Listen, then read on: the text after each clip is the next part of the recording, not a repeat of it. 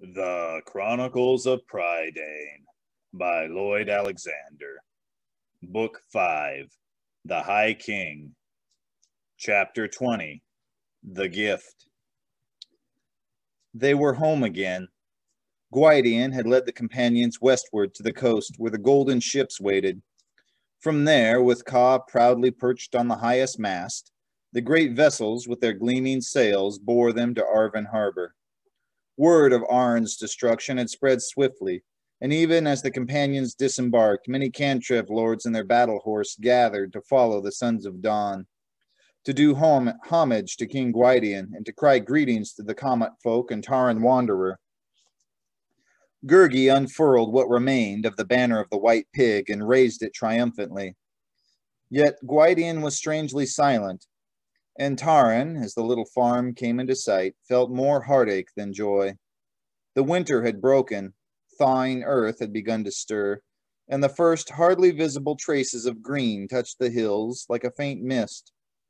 But Taran's eyes went to Coll's empty garden, and he grieved afresh for the stout grower of turnips, far distant in his lonely resting place.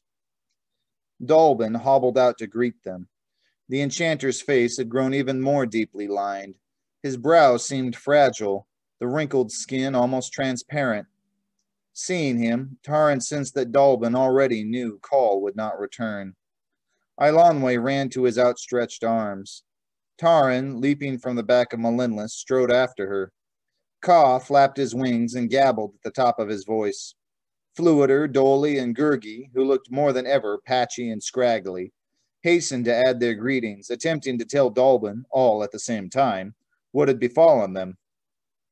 Henwen was squealing, grunting, and wheezing, and very nearly climbing over the bars of the pen. As Taran jumped into the enclosure to fling his arms about the delighted pig, he suddenly heard shrill squealings and his jaw dropped in surprise. Eilonwy, who had hurried to the enclosure, gave a joyful cry. Piglets! Six small pigs, five white as Henwen and one black, stood squealing on their hind legs beside their mother. Henwen chuckled and grunted proudly.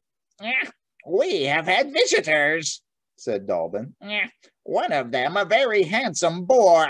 Eh, During the winter, when there was much stirring among the forest creatures, he came seeking food and shelter and found Caer Dallben more to his liking than the woods. He is roaming about somewhere now, for he is still a little wild and unused to so many new arrivals. Great Belin! cried Fflewddur. Seven oracular pigs! Taran, my friend, your tasks will be harder than they were in the hills of Bran-Galedd. Dallben shook his head. Eh, sturdy and healthy they are, eh, and of fine a litter as I have seen. Eh, but their powers are no greater than those of any other pig, eh, which should be quite enough to satisfy them. Henwen's own gift began to fade when the letter stick shattered, eh, and now is gone past recall. It is for the best. Eh, such power is a heavy burden for men as well as pigs, and I dare say she is much happier now. For two days, the companions rested, grateful and content to be together in the peacefulness of the little farm. The sky had never seemed clearer, filled with happier promise of spring or greater joy. King Smoit had arrived with his guard of honor, and through a night's feasting, the cottage rang with merriment. Next day, Dallben summoned the companions to his chamber, where Gwydion and Taliesin already waited. He peered deeply and kindly at all gathered there, and when he spoke, his voice was gentle. These have been days of welcome, he said, but also days of farewell. A questioning murmur rose from the companions. Taran, with alarm, looked searchingly at Dallben. Fflewddur, however, clapped a hand to his sword and exclaimed, I knew it would be so! What task remains to be done? Have the Gwythaints returned? Is a band of huntsmen still abroad? Have no fears. A Fflam stands ready. Gwydion smiled sadly at the excited bard. Not so, gallant friend. Like the huntsmen, the Gwythaints have been destroyed. Yet it is true, one task remains. The sons of Dawn, their kinsmen and kinswomen, must board the golden ships and set sail for the summer country, the land from which we came. Taran turned to Gwydion as though he had not grasped the High King's words. How then? he quickly asked, not daring to believe he had heard aright. The sons of Dawn leave Prydain? Must you sail now? To what purpose? How soon shall you return? Shall you not first rejoice in your victory? Our victory is itself the reason for our voyage, Gwydion answered. This is a destiny long ago laid upon us. When the Lord of Annuvin shall be overcome, then must the sons of Dawn depart forever from Prydain. No, Eilonwy protested. Not now of all times. We cannot turn from this ancient destiny, Gwydion replied. King Fflewddur Fflam, too, must join us, for he is kin to the House of Don. The bard's face filled with distress.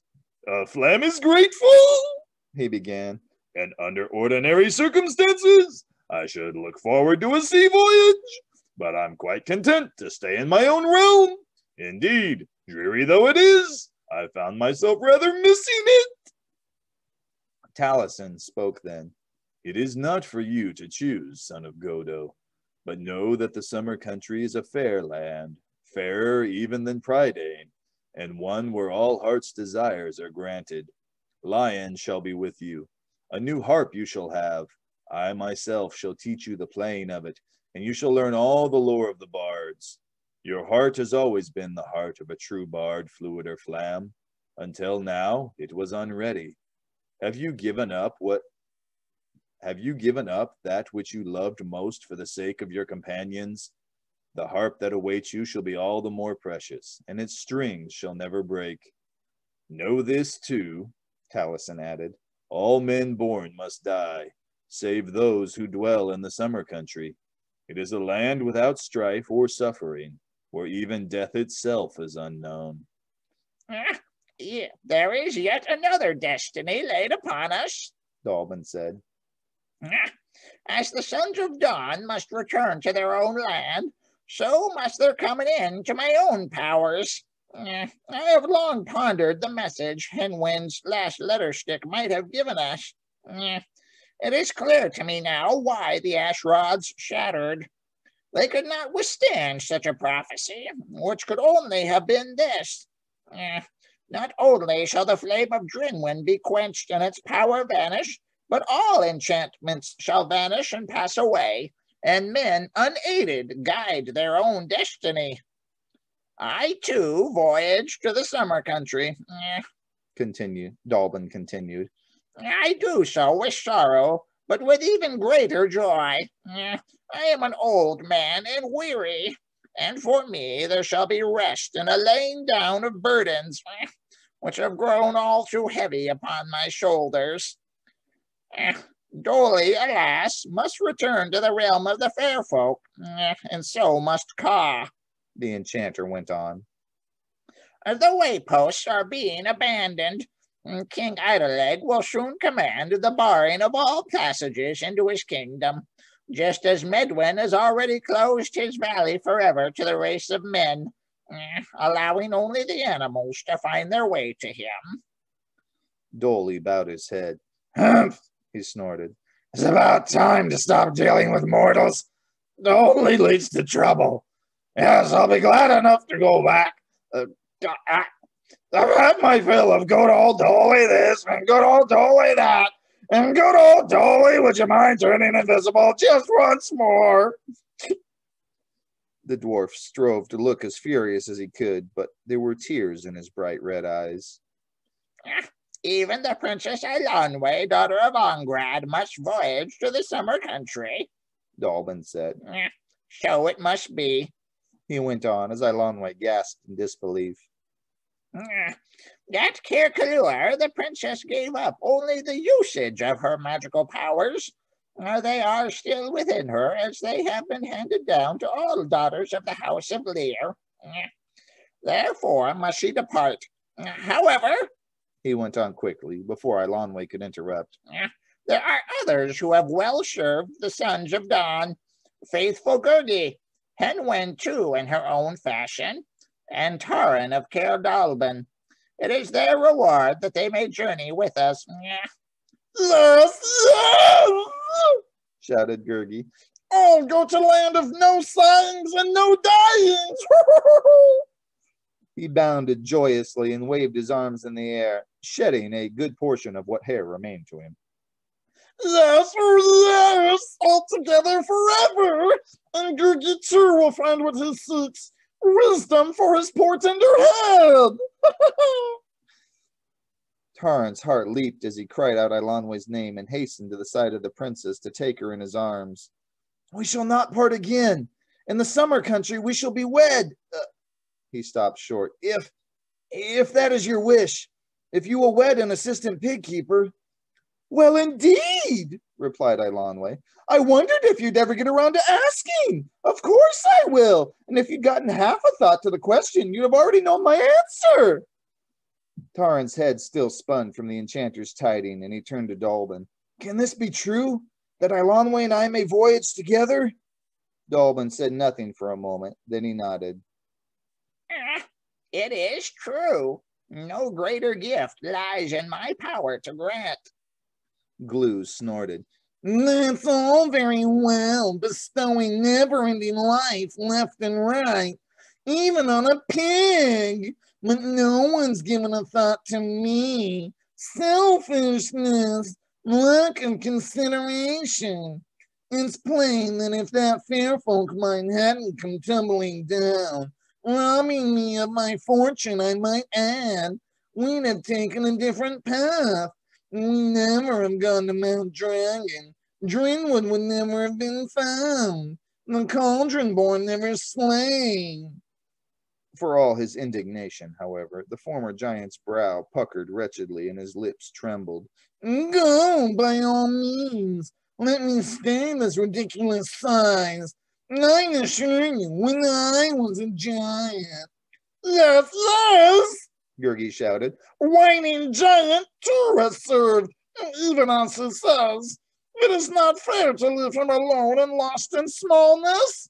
And in treasure house of evil death lord, when all rich treasures fall in flames, a life was saved from hot and hurtful blazons. Yes, even Glew has served, mm, though all unwitting. Dallben replied.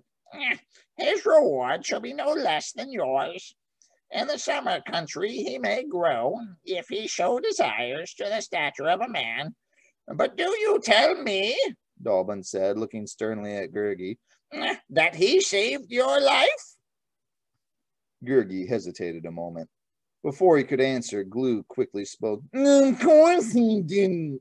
Said the former giant. A life was saved. Mine. If he hadn't pulled me out of the treasure house, I'd be no more than a cinder in Annuvin. At least you've told the truth, giant! cried Fflewddur. Good for you! Great Belin! I think you've already grown a little taller. Gwydion stepped forward and gently put his hand on Taran's shoulder. Our time is soon upon us, he said quietly. In the morning we shall depart. Make ready, assistant pig keeper. That night, Taran drowsed fitfully. The joy that so lightened his heart had strangely flown, fluttering out of reach like a bird of brilliant plumage he could not lure back to his hand. Even thoughts of Eilonwy, of happiness awaiting them in the summer country, could not regain it. At last, he rose from his pallet and stood uneasy by the chamber window. The campfires of the sons of dawn had burned to ashes. The full moon turned the sleeping fields to a sea of silver.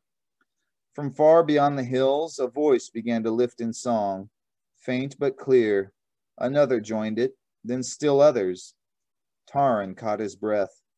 Only once, long ago in the fair folk realm, had he heard such singing.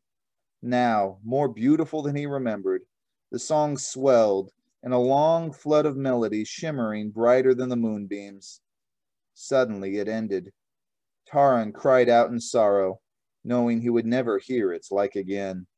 And, perhaps in his own imaginings, there echoed from every corner of the land the sound of heavy portals closing. What? Sleepless, my chicken? said a voice behind him. He turned quickly. Light filling the chamber dazzled him, but as his vision cleared, he saw three tall and slender figures, two garbed in robes of shifting colors, of white, gold, and flaming crimson, and one hooded in a cloak of glittering black. Gems sparkled in the tresses of the first. At the throat of the second hung a necklace of shining white beads.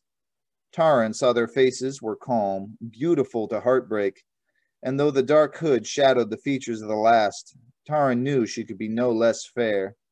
Mm, sleepless and speechless, too, said the middle figure. Mm, tomorrow, poor dear, instead of dancing with joy, he'll be yawning. Your voices, I know them well, Taran stammered, barely able to speak above a whisper. But your faces, yes, once I have seen them, a time long past in the marshes of Morva. Yet it cannot be the same. Orddu, Orwen, and Orgoch? Mm, of course we are, my gosling. Orddu replied. Though it's true, whenever you met us before, we were hardly at our best. Mm, but good enough for the purpose. Orgoch muttered from the depths of her hood. Orwen giggled girlishly and toyed with her beads. You mustn't think we look like ugly old hags all the time, she said. Only when the circumstances seem to require it. Why have you come? Taran began, still baffled at the familiar tones of the enchantresses coming from their fair shapes. Do you too journey to the summer country? Orddu shook her head. We are journeying, uh, but not with you. Salt air makes Orgoch queasy, though it's very likely the only thing that does. We travel to, well, anywhere. You might even say everywhere. You shall see no more of us, nor we of you, added Orwen, almost regretfully. We shall miss you, as much, uh, that is, as we can miss anyone. Orgoch especially would have loved to, Mm, well, best not to dwell on that. Orgoch gave a most ungentle snort. Orddu, meanwhile, had unfolded a length of brightly woven tapestry and held it out to Taran. Mm, we came to bring you this, my duckling, she said. Mm, take it and pay no heed to Orgoch's grumbling. She'll have to swallow her disappointment, mm, for lack of anything better. I have seen this on your loom, Taran said, more than a little distrustful. Why do you offer it to me? I do not ask for it, nor can I pay for it. Mm, it is yours by right, my Robin, answered Orddu. Mm, it does come from our loom, if you insist on strictest detail. Mm, but it was really you who wove it. Puzzled, Taran looked more closely at the fabric and saw it crowded with images of men and women, of warriors and battles, of birds and animals. These, he murmured and wondered, these are of my own life. Mm, of course, Orddu replied. Mm, the pattern is of your choosing and always was. My choosing? Taran questioned. Not yours? Yet I believed. He stopped and raised his eyes at Orddu. Yes, he said slowly. Once I did believe the world went to your bidding. I see now it is not so. The strands of life are not woven by three hags or even by three beautiful damsels. The pattern indeed was mine. But here, he added, frowning as he scanned the final portion of the fabric where the weaving broke off and the threads fell unraveled. Here it is unfinished. Naturally, said Orddu.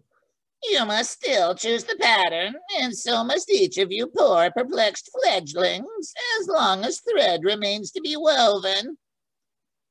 No longer do I see mine clearly, Taran cried. No longer do I understand my own heart.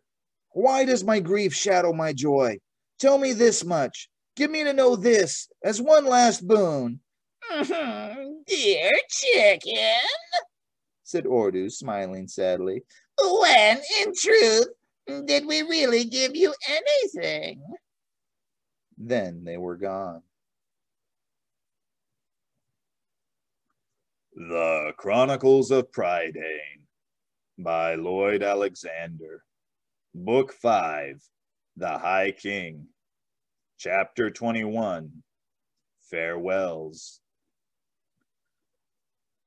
Through the remainder of the night, Taran did not move from the window. The unfinished weaving lay at his feet. By dawn, a still greater number of Commot folk and Cantrev nobles came to throng the fields and hillsides around Caer Dallben for it had become known the sons of Dawn were departing Prydain, and with them the daughters of Dawn who had journeyed from the eastern strongholds. At last, Taran stirred and made his way to Dallben's chamber. The companions were already gathered, even Doli, who had flatly refused to set out for the Fairfolk realm without taking a last leave of each and every friend. Kaw, quiet for once, perched on the dwarf's shoulder, Glew seemed excited and pleased to be on his way. Taliesin and Gwydion stood near Dallben, who had donned a heavy travel cloak and bore an ashwood staff. Under his arm, the enchanter carried the Book of Three. Kindly master, hasten! Shouted Gurgi as Llyan that flew at Fflewddur's side twitched her tail impatiently. All are ready for floatings and boatings! Taran's eyes went to the faces of the companions to Eilonwy, who was watching him eagerly, to the weathered faces of Gwydion and the face of Dallben, furrowed with wisdom. Never had he loved each of them more than at this moment. He did not speak until he came to stand before the old enchanter. Never shall I have greater honor than the gift you offer me, Taran said. The words came slowly, yet he forced himself to continue. Last night my heart was troubled I dreamed that Orddu. No, it was not a dream. She was indeed here, and I have seen for myself your gift is one I cannot take. Gurgi's yelping stopped short, and he stared at Taran with wide and unbelieving eyes. The companions started, and Eilonwy cried out, Taran of Caer Dallben, you have any idea what you're saying? Has the flame of Dyrnwyn scorched your wits? Suddenly, her voice caught in her throat. She bit her lips and turned quickly away. I understand. In the summer country, were we to be wed? Do you still question my heart? It has not changed. It is your heart that has changed toward mine. Taran dared not look at Eilonwy, for his grief was too keen in him. You are wrong, Princess of Llyr, he murmured. I have long loved you, and loved you even before I knew that I did. If my heart breaks to part from our companions, it breaks twice over to part from you. Yet so it must be. I cannot do otherwise. Uh, think carefully, assistant pig keeper, Dallben said sharply. Uh, once taken, your choice cannot be recalled. Will you dwell in sorrow instead of happiness? Will you refuse not only joy and love, but never ending life? Uh? Taran did not answer for a long moment. When at last he did, his voice was heavy with regret, yet his words were clear and unfaltering. There are those more deserving of your gift than I, yet never may it be offered them. My life is bound to theirs. Coll Son of Collfrewr's garden and orchard lie barren, waiting for a hand to quicken them. My skill is less than his, but I give it willingly for his sake. The seawall at Dinas Rhydnant is unfinished, Taran continued. Before the king of Mona's burial mound, I vowed not to leave his task undone. From his jacket, Taran drew the fragment of pottery.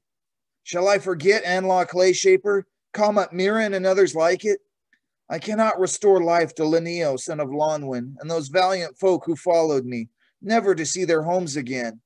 Nor can I mend the hearts of widows and orphan children, if it is in my power to rebuild even a little of what has been broken, this I must do. The Red Fallows once were a fruitful place. With labor, perhaps they shall be so again. He turned and spoke to Taliesin. Caer Dathyl's proud halls lie in ruins, and with them the hall of lore and the treasured wisdom of the bards. Have you not said that memory lives longer than what is remembered? But what if memory be lost? If there are those who will help me, we will raise the fallen stones and regain the treasure of memory. Mm, Gurgi will help. He will not voyage. No, no. Gurgi wailed. He stays always. And he wants no gift that takes him from a kindly master. Taran put a hand on the creature's arm. You must journey with the others. Do you call me master? Obey me then in one last command. Find the wisdom you yearn for. It awaits you in the summer country. Whatever I may find, I must seek it here. Eilonwy bowed her head. You have chosen as you must, Taran of Dallben. Nor will I gainsay you, Dallben said to Taran. but only warn you. The tasks you set yourself are cruelly difficult. There is no certainty you will accomplish even one, and much risk you will fail in all of them. In either case, your efforts may well go unrewarded, unsung, forgotten. Eh. And at this end, like all mortals, you must face your death, eh. perhaps without even a mound of honor to mark your resting place. Eh. Taran nodded. So be it, he said. Long ago, I yearned to be a hero without knowing in truth what a hero was. Now, perhaps, I understand it a little better. A grower of turnips or a shaper of clay, a commot farmer or a king. Every man is a hero if he strives more for others than for himself alone. Once, he added, you told me that the seeking counts more than the finding so too must the striving count more than the gain. Once I hoped for a glorious destiny, Taran went on, smiling at his own memory. That dream has vanished with my childhood, and though a pleasant dream, it was fit only for a child. I am well content as an assistant pig keeper. Eh? Even that contentment shall not be yours, Dallben said. Eh? No longer are you assistant pig keeper, but High King of Prydain. Yeah.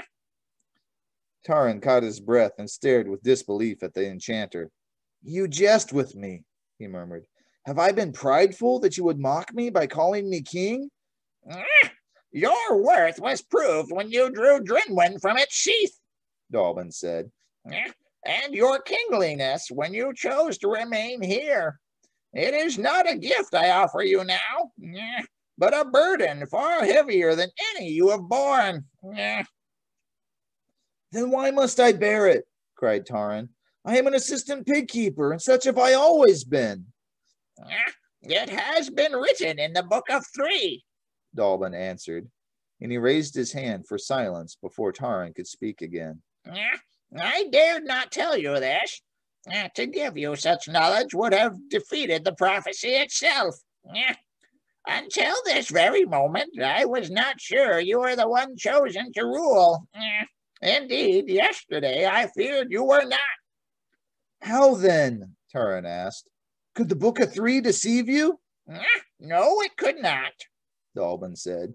Uh, the book of the book is thus called because it tells all three parts of our lives. Eh, the past, the present, and the future. But it could as well be called the book of if. If you had failed at your tasks, if you had followed an evil path, if you had been slain, if you had not chosen as you did, a thousand ifs, my boy, and many times a thousand. The book of three can say no more than if until at the end of all things that might have been, one alone becomes what really is. For the deeds of a man, not the words of a prophecy, are what shape his destiny. I understand now why you kept my parentage a secret, Taran said. But shall I never be given to know it? Eh, I did not keep it secret from you entirely through my own wish, Dallben answered. Nor do I keep it so now. Long ago, when the Book of Three first came into my hands, from its pages I learned that when the Sons of Dawn departed from Prydain, the High King would be one who slew a serpent, who gained and lost a flaming sword, who chose a kingdom of sorrow over a kingdom of happiness. These prophecies were clouded, even to me, and darkest was the prophecy that who he who would come to rule Prydain would be one of no situation in life. Long I did I ponder these things, Dallben continued. Yeah. At last I left Caer Dallben to seek this future king and to hasten his coming. For many years I searched, yet all whom I questioned well knew their station, whether shepherd or war leader, cantrev lord or commot farmer. Yeah. The seasons turned. Kings rose and fell, wars turned to peace, and peace to war. Yeah. Indeed, on a certain time, as many years ago as you yourself have years, eh, a grievous war was fought upon the land, and I despaired of my quest and turned my steps once more toward Caer Dallben. Eh, on that day, I chanced to pass a field where a battle had raged. Many lay slain, noble as well as humble folk. Even the women and children had not been spared. From the forest nearby, I heard a piercing cry. An infant had been hidden among the trees, as though his mother had sought, at the last, to keep him safe. From his wrappings, I could judge nothing of his parentage, and only sensed with certainty that both mother and father lay upon that field of the slain. Here, surely, was one with no station in life, an unknown babe of unknown kin. Ah, I bore the child with me to Caer Dallben. The name I gave him was Taran. I could not have told you of your parentage, even had I wished to, Dallben continued, for I knew it no more than you did. My secret hope I shared only with two others, Lord Gwydion and Coll. As you grew to manhood, so our hopes grew though never could we be certain you were the child born to be High King. Until now, my boy, said Dallben, you were always a great perhaps. What was written has come to pass, Gwydion said, and now in truth we must say farewell. The chamber was silent. Llyan, sensing the bard's distress, nuzzled him gently. The companions did not move. It was Glew who stepped forward and spoke first. I've been carrying this with me ever since I was so shabbily hustled away from Mona, he said, drawing from his jacket a small blue crystal which he pressed into Taran's hand. It reminded me of my cavern in those grand days when I was a giant Mm, but for some reason, I don't want to be reminded of them any longer. Since I don't want it, here, take it as a small remembrance of me. He's still hardly the most generous spirit in the world, muttered Fflewddur. But I've no doubt it's the first time he's ever given anybody anything. Great Belin! I swear the little fellow's actually grown another inch. Doli had taken the handsomely crafted axe from his belt. You'll need this, he told Taran, and it should serve you well in many tasks. It's fair folk quality, my lad, and you'll not blunt it easily. It can serve me no better than did its owner, Taran replied, clasping the dwarf's hand. And its metal cannot be as true as your own heart. Good old Doli. Humph! The the dwarf snorted furiously. Good old Doli! I've heard that somewhere before. Kaw, on Doli's shoulder, bobbed up and down while Taran gently ran a finger over the crow's sleek feathers. Farewell! Kaw croaked. Taran! Farewell! Farewell to you, Taran answered, smiling. If I have despaired of teaching you good manners, I have rejoiced in your bad ones. You are a rogue and a scamp, and a very eagle among crows. Llyan had padded up to rub her head affectionately against Taran's arm, which she did so vigorously that the enormous cat nearly knocked him off his feet. You're my friend, good company, Taran said, stroking Llyan's ears. Cheer him with your purring when his spirits are low, as I wish you might cheer me. Stray not far from him, for even such a bold bard as Fflewddur Fflam is no stranger to loneliness. Fflewddur himself had drawn near, and in his hand held the harp string he had taken from the fire. The heat of the flame had caused the string to curl and twine in a curious pattern that seemed without beginning or end, constantly changing as from one melody to another, even as Taran looked at it. I'm afraid that's all that's left of the old pot, Fflewddur said, offering the string to Taran. Truthfully, I'm just as well pleased. It was forever jangling and going out of tune. He paused, glancing behind him nervously, and cleared his throat. uh, ah, what I mean to say was that I shall miss, the, miss those snapping strings. No more than I shall miss them, Taran said. Remember me as well and fondly as I remember you. Have no fear, cried the bard. There's still songs to be sung and tales to be told. A Fflam never forgets. Mm, alas, alas, wailed Gurgi. Mm, poor Gurgi has nothing to give kindly master for fond rememberings. Woe and misery! Even wallet of crunchins and munchins is now empty. The tearful creature suddenly clapped his hands together. Oh, yes, yes! Oh, forgetful Gurgi has one gift. Here, here it is, from burning treasure house of wicked Death Lord. Bold Gurgi seized it with catchings and snatchings. But his poor tender head was so filled with fearful spinnings that he forgot. With this, Gurgi drew from his leather pouch a small, flame-scarred, battered coffer of unknown metal and held it out to Taran, who took it, studied it curiously, then broke the heavy seal which kept it locked. The coffer held no more than a number of thin, closely written parchments. Taran's eyes widened as he scanned them, and he turned quickly to Gurgi. Do you know what you have found? he whispered. Here are the secrets of forging and tempering metals, of shaping and firing pottery, of planting and cultivating. This is what Arawn stole long ago and kept from the race of men. This knowledge is itself a priceless treasure. Perhaps the most precious of all, said Gwydion, who had come to study the parchments in Taran's hand. The flames of Annuvin destroyed the enchanted tools that labored of themselves and would have given carefree idleness.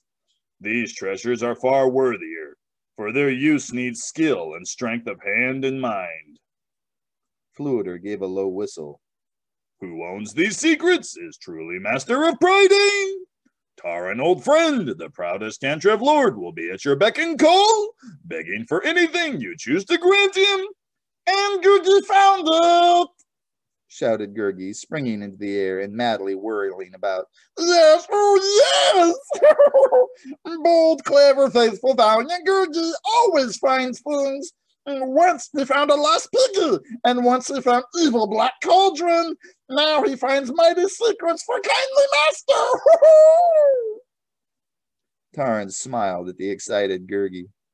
Indeed, you have found many mighty secrets, but they are not mine to keep.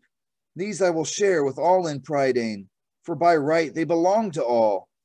Uh, then share this as well, said Dallben, who had been listening closely, and now held out the heavy, leather bound volume he had kept under his arm. The Book of Three? Taran said, looking wonderingly and questioningly at the enchanter. I, I dare not. Uh, take it, my boy, Dallben said. It will not blister your fingers, as once it did with an over-curious assistant pig keeper. All its pages are open to you.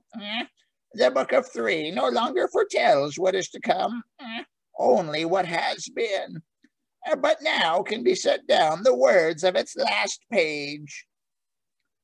The enchanter took out a quill from the table, opened the book, and in it wrote with a bold, firm hand, and thus did an assistant pig keeper become high king of Prydain.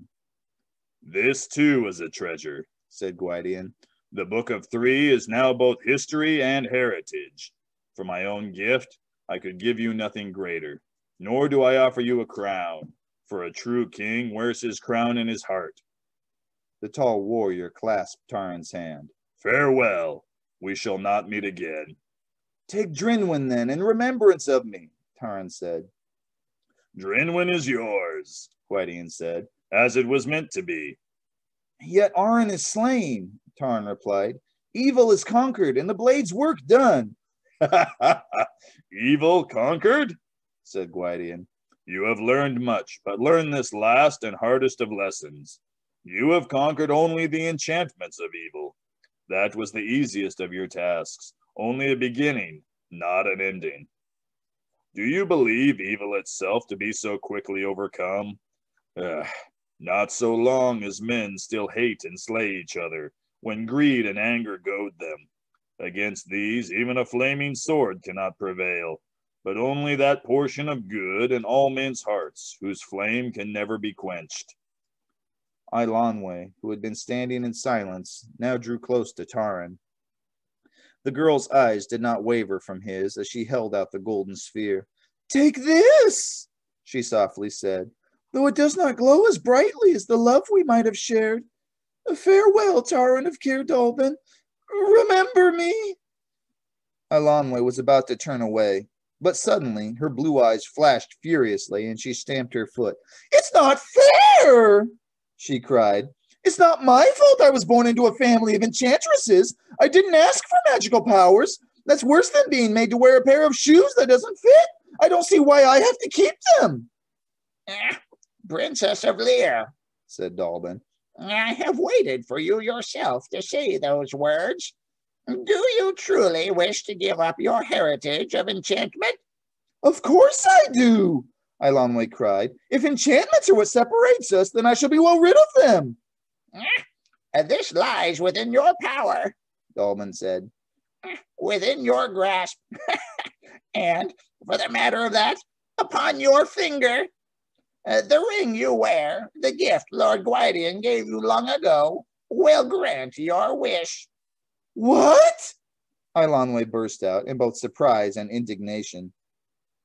Do you mean to say that all the years I've worn my ring, I could have used it to have a wish granted? You told me nothing of it. That's worse than unfair. Why, I could have simply wished to destroy the Black Cauldron or to find Dyrnwyn. I could have wished Arawn conquered without the least danger, and I never knew. child, child, Dallben interrupted. Your ring can indeed grant you a wish, and one wish alone. But evil cannot be conquered by wishing. The ring will serve only you and grant only the deepest wish of your own heart. I did not tell you before because I was uncertain that you truly knew what you longed for. Turn the ring once upon your finger, Dallben said. And wish with all your heart for your enchanted powers to vanish. Wondering and almost fearful, Eilonwy closed her eyes and did the enchanter's bidding. The ring flared suddenly, but only for a moment. The girl gave a sharp cry of pain, and in Taran's hand the light of the golden bauble winked out. Eh, it is done, Dallben murmured. Eilonwy blinked and looked around her. I don't feel a bit different, she remarked. Are my enchantments truly gone? Dallben nodded. Eh, yes, he said gently.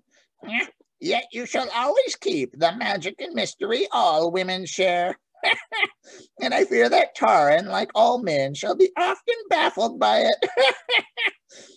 but such is the way of it. Come, clasp hands, the two of you, and pledge each other your troth. When they had done so, the companions pressed around the wedded couple to wish them happiness. Then Gwydion and Taliesin went from the cottage, and Dallben took up his ashwood staff. We can tarry no longer, the enchanter said. And here our ways must part. But what of Henwen? Taran asked. Shall I not see her one last time? as often as you please, answered Dallben. Since she was free to go or stay, I know she will choose to remain with you. But I suggest you first let those visitors trampoline about the fields see there is a new High King in Prydain and a new Queen. A guardian will have proclaimed the tidings, and your subjects will be impatient to hail you. the companions following, Taran and Eilonwy left the chamber. But at the cottage door, Taran drew back and turned to Dallben. Can one such as I rule a kingdom? I remember a time when I jumped headfirst into a thorn bush, and I fear kingship will be no different. Very likely more nettlesome, put in Eilonwy. But should you have any difficulties, I'll be happy to give you my advice. Right now, there's only one question. Are you going in or out of this doorway? In the waiting throng beyond the cottage, Taran glimpsed Hevydd, Llassar, and the folk of the Commots, Gast and Goryon side by side near the farmer Aeddan, King Smoit towering above them, his beard bright as flame. But many were the well-loved faces he saw clearly only in his heart. A sudden burst of cheering voices greeted him as he took Eilonwy's hand tightly in his own and stepped through the door. And so they lived many happy years, and the promised tasks were accomplished. Yet long afterward, when all had passed away into distant memory, there were many who wondered whether King Taran and Queen Eilonwy and their companions had indeed walked the earth, or whether they had been no more than dreams and a tale set down to beguile children. And in time, only the bards knew the truth of it. Thus ends the Chronicles of Prydain. Join us next time for a series of short stories about Prydain entitled The Foundling and Other Tales of Prydain.